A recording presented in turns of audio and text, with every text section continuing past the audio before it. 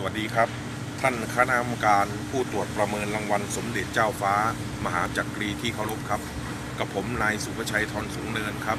ปัจจุบันอายุ 36 ปี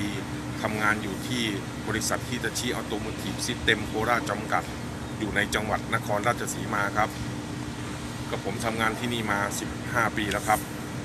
ในส่วนผมนะครับได้มีโอกาสได้เรียนรู้นะครับ เข้าไป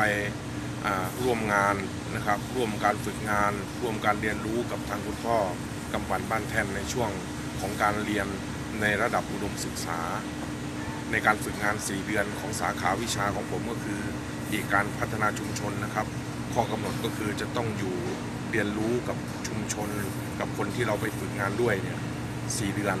นะครับในช่วงระยะเวลา 4 เดือนเนี่ยทางคุณพ่อกำปั่นบ้านแท่นได้ให้ความอนุเคราะห์เกี่ยวกับเรื่องของที่พัก ที่อยู่รวมถึงการดูแลสารทุกสุขดิบทุกอย่างนะครับ ตลอดจนความรู้และประสบการณ์ที่คุณพ่อถ่ายทอดนะครับ ก็คือเรื่องของเพลงโคราชนะครับ ตั้งแต่อดีตนะครับจนถึงปัจจุบันนะครับ รวมถึงนะครับได้ออธิบายเกี่ยวกับเรื่องราวของรูปแบบต่างๆ ของเพลงโคราชนะครับ ที่แสดงในแต่ละยุคแต่ละช่วงนะครับ สุดท้ายนะครับเรายังได้เห็นถึง การถ่ายทอดนะครับ ที่ทางคุณพ่อกำปั่นเนี่ยได้ถ่ายทอดองค์ความรู้ที่มีนะครับให้กับหน่วยงานทั้งภาครัฐ แล้วก็เอกชนนะครับ รวมถึง